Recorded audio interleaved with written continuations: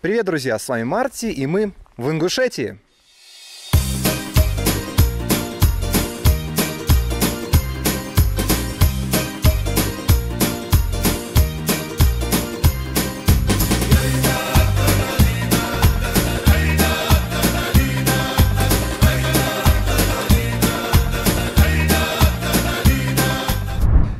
Две недели назад мне на почту прислали письмо с приглашением на какой-то неизвестный мне форум блогеров в Ингушетии. Сначала я подумал, что это какой-то спам и хотел сразу удалить письмо, но прочитав его, зайдя на сайт организаторов, я понял, что это, в принципе, серьезное, настоящее мероприятие. Идея мероприятия такая.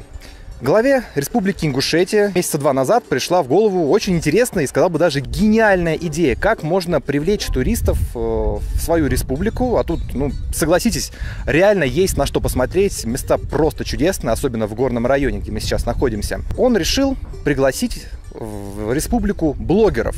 Причем не журналистов, никаких там политических или экономических обозревателей, а обычных блогеров, таких как я, которые имеют ну, более-менее крупную аудиторию от нескольких сотен тысяч человек. В общей сложности было приглашено около 50 блогеров с разных регионов России. Но в основном, конечно, это были Москва и Питер. В основном там блогеры и обитают. Но также люди были из Сибири, из Дальнего Востока. И, в частности, мы с Аленой из Краснодара пожужжи в другом месте, мы снимаем видео. Один из блогеров запустил дрон, и мы не можем нормально снимать. Ждем, пока он улетит. А что, давай еще ниже, может, на голову нам сядешь? Да, давай. Ну да, конечно. Нам пришлось лететь на самолете а, с пересадкой в Москве. Мы вылетели с Краснодара рано-рано утром, дальше пересадка, и мы уже где-то к полудню были в Магасе. Это столица республики Ингушетия. Круто! Причем из Москвы большинство блогеров летели на одном самолете. В частности, рядом со мной на кресле сидел Андрей Нефедов. Наверное, многие из вас его знают. Это, в принципе, честно говоря, из всех участников форума, которые прилетели, это был единственный блогер, которого я узнал. Вообще больше никого из них я не знаю. Ну,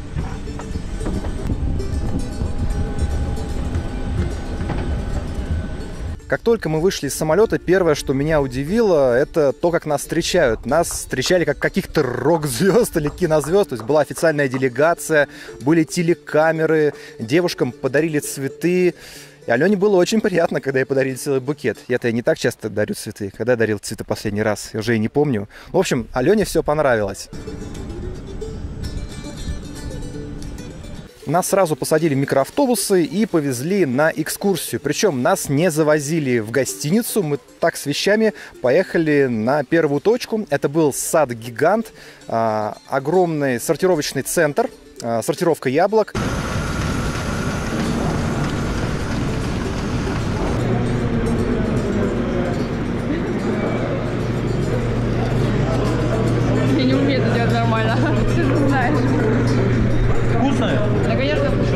И дальше началось уже самое интересное. Нас повезли в столицу, город Магаз.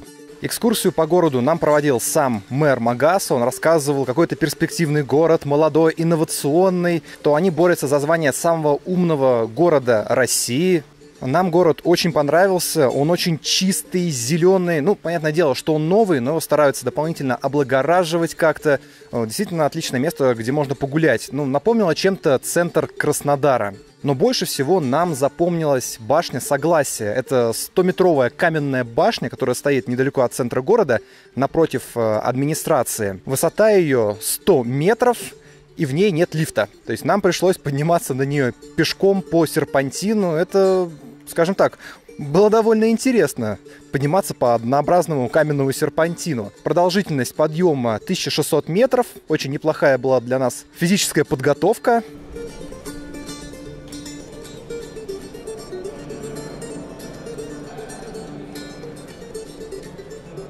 И когда мы поднялись, мы увидели наверху наблюдательную площадку с прозрачным полом. Скажу честно, мне лично было довольно страшно по ней ходить изначально, но вот Алена прыгала, бегала и веселилась как могла.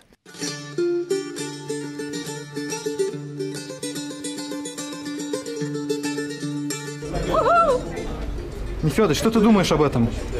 Это самый жесткий подъем в моей жизни, который я когда-либо испытывал. Это Хиляк. Останкинская телебашня, только пешком. Но это того стоит. Ты посмотри, ты посмотри на Зато это не по лесенке. А? Зато не по лесенке.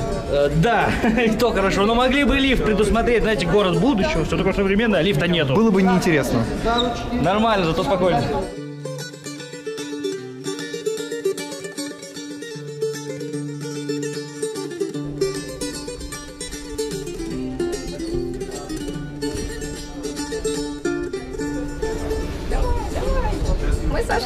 Первый шаг. Ура! В общем, ребята, тут очень весело, очень высоко и очень страшно. Хотя я понимаю, что это безопасно, но все равно.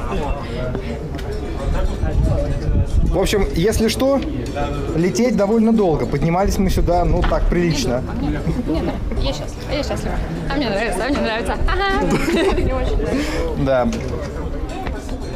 После этого началась самая интересная часть нашей поездки, то, из-за чего, в принципе, стоит ехать в Ингушетию, нас повезли в горы. Для тех, кто не в курсе, Ингушетия делится на две части. К северу равнинная часть, а в южной части это горы. А, Горы находятся в Джейракском районе, то есть э, полностью вся горная часть – это Джейракский район. А, Чтобы в него проехать, нам пришлось ехать через э, Северную Осетию, через Владикавказ. В Джейракский район мы попали только под вечер и были по пути некоторые сложности. Дело в том, что Джейракский район – это пограничная зона. Тут буквально несколько километров до границы с Грузией, поэтому тут находятся пограничные посты. И сюда могут попасть только граждане Российской Федера- э, Федерации. Иностранцы должны заблаговременно, за полтора месяца, получать специальное разрешение в Магасе, э, столице республики. И тут возникла небольшая проблема. На посту нас остановили, начали проверять документы, и оказалось, что среди блогеров были два коренных петербуржца, которые оказались гражданами Украины. Поэтому нас э, остановили, начали выяснять. Но поскольку данное мероприятие было заранее анонсировано, оно было официальным, буквально за полчаса порешали все эти вопросы, нас всех вместе отпустили, мы поехали дальше. И нас привезли в этот чудесный комплекс. Это гостиный дом, частный дом, частная усадьба. Просто чудесное место. Нам сразу же по приезду накрыли просто шикарный ужин. Э, Столы буквально ломились от э, разных блюд. Запомните, поселок Бейни можете найти на картах. Если будете в Ингушетии, обязательно посетите это место. Тут вокруг много э, частных гостевых домов, гостиниц. Это место достойно вашего внимания. А мы сейчас садимся по нашим микроавтобусам и едем дальше.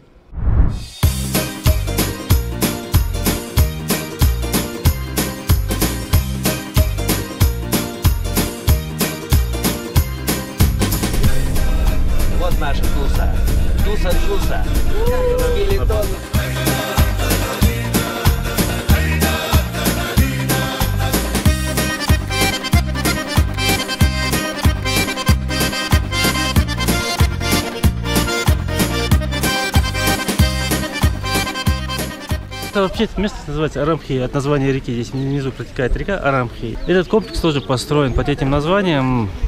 Горнолыжный, называется Арамхи. В летнее время он у нас, естественно, не работает. Зимой здесь бывает очень много снега, так что я вас приглашаю, приезжайте, покатаемся.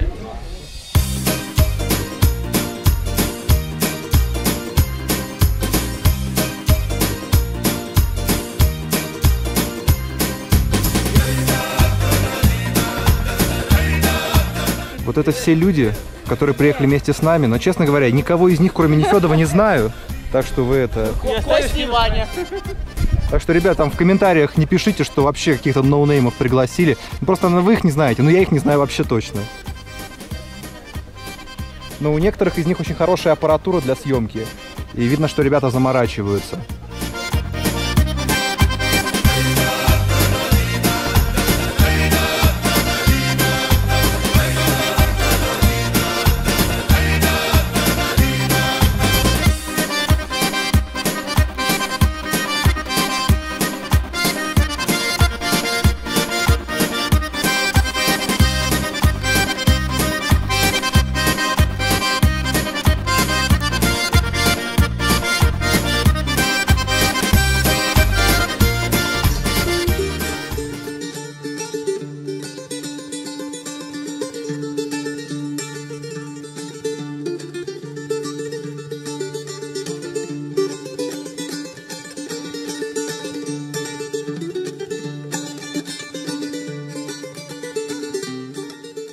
Немного полезной информации для тех, кто собрался ехать в Ингушетию как турист. А, Во-первых, вам нужно знать, что в Ингушетии более светские нравы, чем в некоторых соседних республиках. Например, э, девушкам не обязательно носить на голове платок. Это все делается по желанию. Хотите носите, хотите не носите. Что касается одежды, э, и мужчинам, и женщинам нежелательно надевать какую-то короткую вызывающую одежду. Например, мужчинам даже шорты желательно не носить. М, Девушкам, соответственно, короткие шорты или юбки. Но при этом вам никто не запретит это делать, это все по вашему желанию, но вы создадите о себе ну, нехорошее впечатление. Также насчет алкоголя.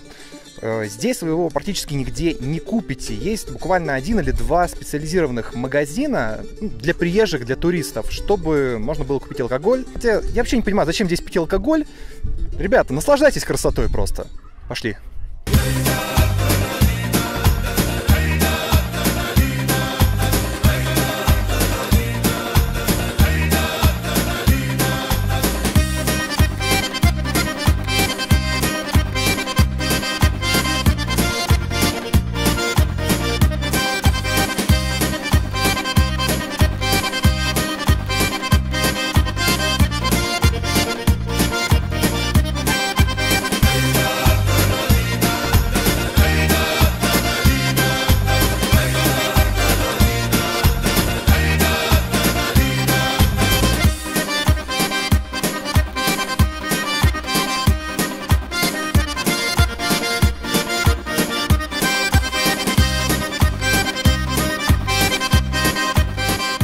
Моей спиной расположен большой Кавказский хребет. Э, Он отделяет Россию от Грузии, то есть граница проходит прямо по его вершине.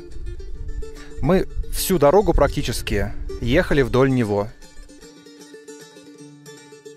Мы остановились, чтобы пообедать в одной гостинице-ресторане. Тут нас ждет хороший обед, накрыты столы под открытым небом. Все это в горах. Ребята, то все это увидеть, вы должны просто приехать в Ингушетию и посмотреть. Через видео это не передать.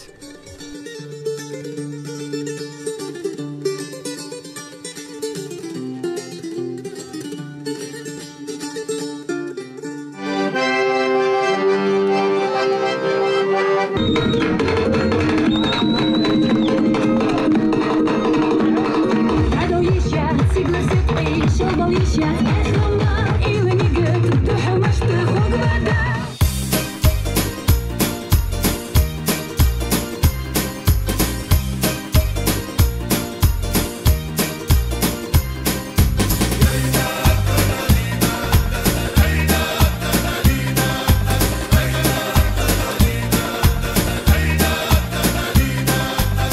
Очередная остановка. Мы остановились возле древнего средневекового города Эгикал. А, Огромное количество разрушенных и еще не до конца разрушенных э, башен. Это не восстановлено им- именно так, как все было э, осталось со времен средневековья. На самом деле по дороге просто огромное количество различных построек, руин мы встречали. То есть вы будете ехать и каждый там, не знаю, километр будете встречать что-то интересное, где можно остановиться и посмотреть.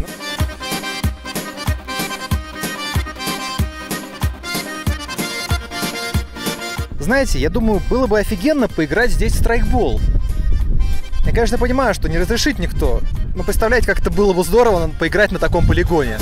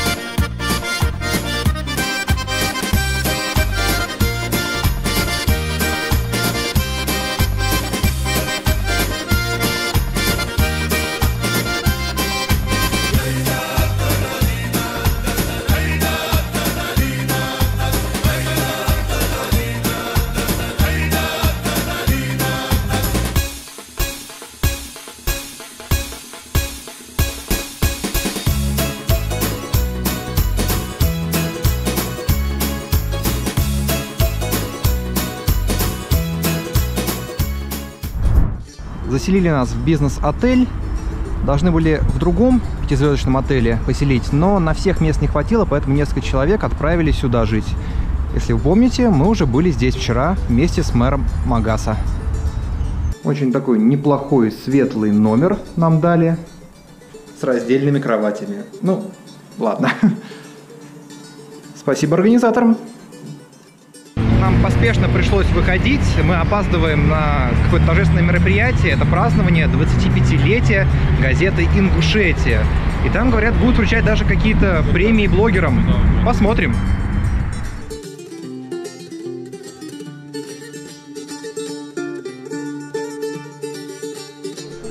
Очень красиво. Это очень крупный официальный прием. Сейчас увидите все сами. Критикуют, аккуратнее. Нас тут уже критикуют, мы тут не свои. Мы здесь все как красные хрюшки. Очень сильно выделяемся. Ну да, мы просто сегодня были весь день на солнце, поэтому довольно сильно сгорели, а некоторые прям вот конкретно. Даже, может, кому-нибудь покажу потом поближе. Я думаю, вы сами выйдете.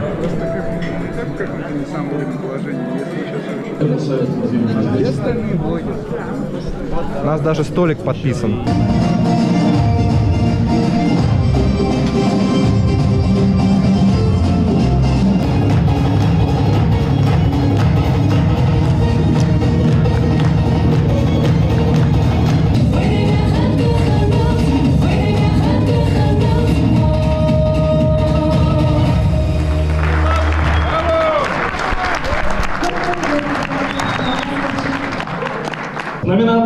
«Прорыв года» на форуме блогеров «Блогинг 2018» победил проект «Хайповый бизнес».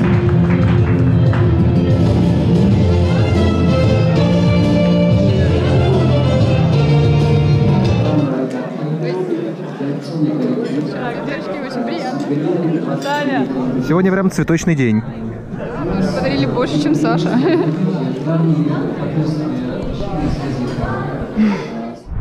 Доброе утро. Вчера было довольно интересное мероприятие. Был глава республики, но мы с ним не общались. А сейчас мы идем на официальный прием к главе республики. Пообщаемся. Народ постепенно собирается, но половина еще не проснулась.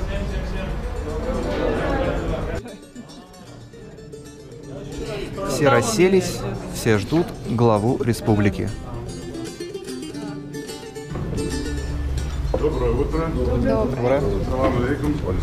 Закончился прием у главы республики. Скажу честно, было довольно интересно его послушать. Это было не какое-то дежурное событие для протокола. Действительно, интересно с ним поговорили. Многие блогеры высказались. И даже меня попросили высказаться, рассказать немного о страйкболе и о перспективах развития страйкбола непосредственно в Ингушетии. Поддержка властей региона на самом деле это очень хороший фактор для проведения хороших мероприятий. Ну а сейчас мы садимся по машинам, едем в аэропорт.